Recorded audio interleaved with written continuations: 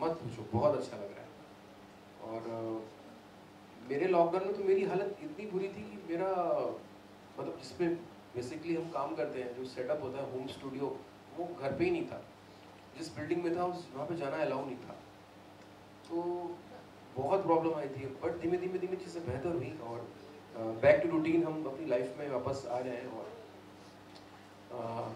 Studio जाके गाना गाना ऐसा लग रहा था कि ये हम कभी करते थे और अभी वापस से कर रहे हैं तो वो जो फील है अपने आप में वो बहुत कमाल की फील है और बहुत मज़ा आया। बहुत मज़ा आया।